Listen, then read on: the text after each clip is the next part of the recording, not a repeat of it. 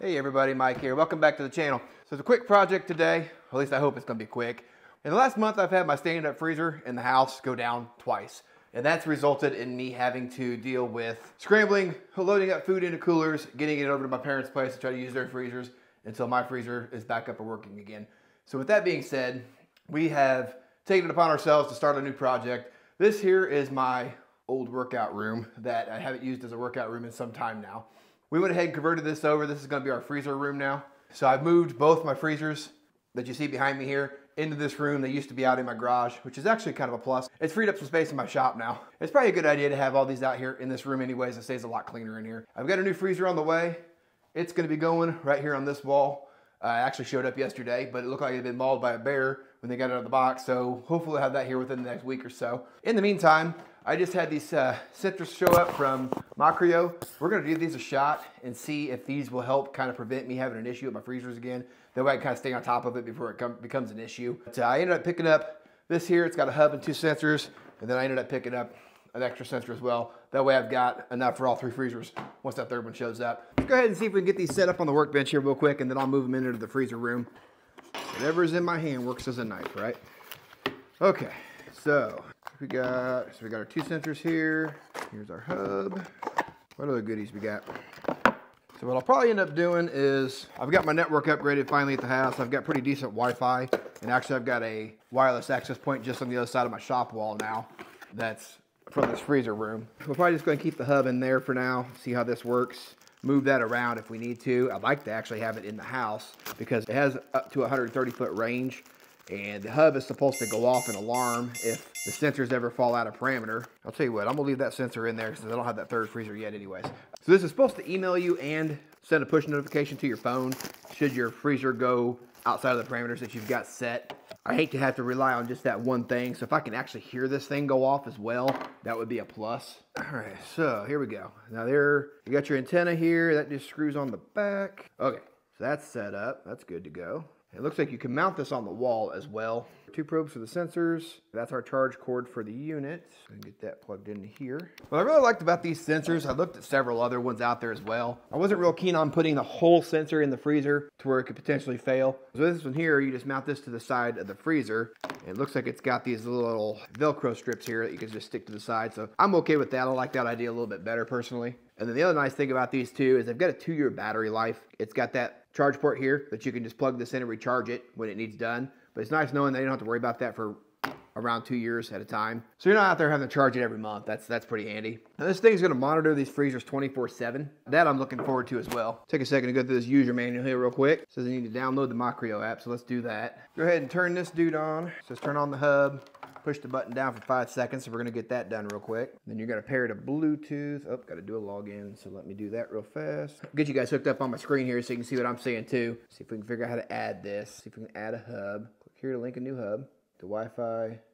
Hold the button down for five seconds. One. Our little light turned blue. Continue.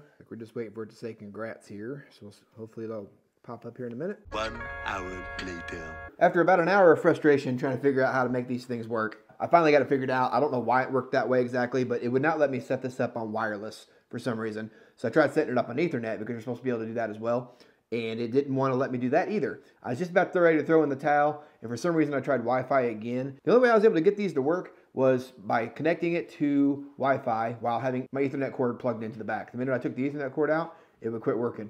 Don't ask me why. I'm going to call support and find, figure, try to figure that out myself. But just keep that in mind if you decide to go with these sensors. I don't know if it's just me or something I was doing wrong. That was my experience getting these things set up. So I've got one sensor set up so far. I wanted to go ahead and test it and see how it was going to work. I've got another one here to do. I'm not going to set up that third one until I get my other freezer here in the, in the room. You can see on here, I don't know if you can see this on the screen or not. I'll tell you what, I'll go ahead and screen record this. This is the Frigidaire freezer right here I got set up and it's right now it's reading at looks like five degrees at the moment. I don't know if it's not acclimating to the freezer yet. It does show so if i go into view more i'm able to see i've got a graph on here. I can go by day by month or by year and see a graph of all the different temperatures that it goes through. So i've got a history that looks like it's going to be pretty useful. I do have parameters set up on this as well. So if i go up here to the settings and then i look at the temp alerting i have that turned on And I set for now anyways, until I do a little more research to find out what the best parameters for this is. I've got this set up to negative, between negative 15 degrees and 15 degrees Fahrenheit. I'm, I'm shooting for as close to zero as possible at the moment. So we'll see if that thing levels out, if I get to zero or not. I've also got it set up to do beeping on the hub. I, I was able to get the hub to beep while it was still above the, the temperature parameter I set. It doesn't shut off, it seems like, until you kill the alert. It sends you an email and a push notification as well. So that's all set up and working now. Wanted to go ahead and add another sensor to this thing real quick. So I figured I'd show you how that worked out. See if I can get this figured out again. Go up here to the plus button. I'm going to add, this is an ST5 sensor. So I'm going to push that there. Now on the bottom here, where you would charge this at, there's a little button here on the bottom. Requires like a, a little paper clip basically. So we're gonna go ahead and hit, this is the hub that I wanna use. And I'm gonna push this little button right here. Hold it for just a second.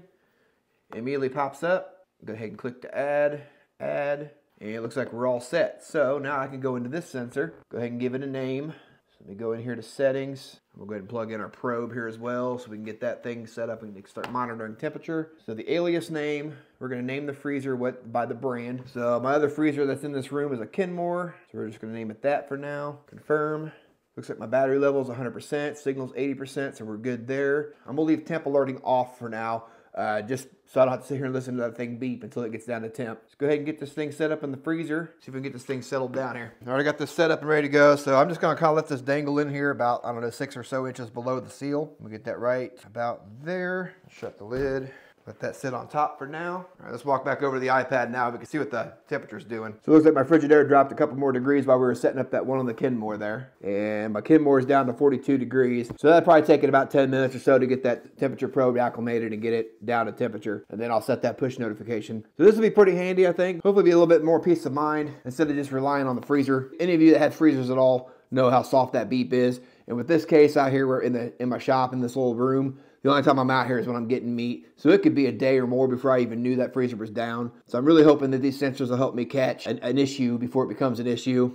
And even if I have a freezer go down, I can get this meat swapped over to a different freezer or get it over to, you know, my parents' house or something like that. That way I don't end up losing meat. But we'll let this thing sit here for a little bit longer and I'll catch back up with you here in just a minute when this thing gets acclimated. So my first freezer's down to negative 1.3. That's good. I'm okay with that. And then my Kenmore is down to 4 degrees. We'll see if that drops any more, but it's still within my threshold that I'm going to set up. Okay, let's go into my Kenmore here and we'll get our parameters set up. So we'll go up here to the cogwheel. We're going to go to temp alerting, turn that on, set our negative to negative 30 and bring our max we want it to to negative 15. I'm gonna set my delay up to two minutes. We'll see how that works. Gives you a little bit of a buffer just in case the sensor has a glitch. That way I'm not getting an alert and freaking out while I'm at work. So we'll set that to two minutes for now. Hit save. Should be good to go. All right, so next thing I want to do here is get this sensor set up real fast to get this stuck on the actual side of the freezer. So I'm gonna go ahead and put, that comes with these little Velcro strips like you see here. Let's go ahead and get that set up. I'll stick that on the back like so. Pull my adhesive off here. Why are these things always so hard to get off? I feel like I fight them every time. There we go. Okay, and we're gonna stick this right here on the side of the freezer. So that dude's stuck on the side of there like that. Let's go get this other one done real quick. Velcro on there. That dude's stuck right here on the side of this freezer. That about does it for the freezers. I'm gonna let those sit for a day and let, let them populate some data. And then we'll hop back on here one more time and take a look at that together. And I'll let you know what I think of these things so far. All right, fast forward here. This video originally started on Sunday, so it's been uh, roughly five days. I've had a little bit of time to populate some data on these freezers. Let's go ahead and pop back on the iPad here real quick. I'll pull up the app. We can take a look at these temperatures together real quick and I can kind of show you these graphs. So I got my app pulled up here on my iPad and I went ahead and got my third sensor hooked up. That new freezer is supposed to be showing up here in just a couple days. So I've got that ready to go when the freezer does get here and we get it moving. But you can see on here, I got the three freezers all here, all set up on the screen. They're all named to whatever brand freezer they are. I'll have two Frigidaires here soon. So one of them is labeled just a little bit differently so I know them apart. If I click on one of these graphs, this is my Kenmore freezer, which that thing's, I bet that freezer's pushing 20 to 25 years old is, my best guess. If you click on this view more and click the graph here, you can see where the freezer temps are by day. We're going anywhere between, looks like negative 2 degrees and negative 4.9 degrees. So there's about 2 degrees of fluctuation between when the compressor kicks off and on in the freezer, which I think is extremely good. The 2 degree variance is, you know, back and forth when it's cooling off. Uh, and that way it kind of shows you too how often the thing's cycling as well. And then if you go into month, and I'll have to go to November since we just started a new month, shows you highest and lowest that that, that thing's ever ran. November 30th, it got down to almost six negative six degrees, and it's no warmer than negative 1.3 degrees on that freezer. If we go into that other one I've got, Frigidaire, view more, There's the graph for that one there. If I go into month and November. So that one cycled between negative 0.4 and negative 4 degrees on that freezer. This is going to give me a great peace of mind being able to know all my freezers are in here just in case I don't come to them every single day to check on them or get something out of them. Uh, I'll know all those freezers are working. I'm not going to come out here and have a big disaster on my hand. Hopefully this kind of helped clear you, clear up some questions you guys might have had. I couldn't really find a lot of information on these when I went searching for it, so I kind of wanted to create a video for you guys, just kind of give you an idea of what I've got so far for my initial impressions after using them for about a week or so. so hopefully you guys found this helpful. I'll catch you guys on the next video. Have a good one.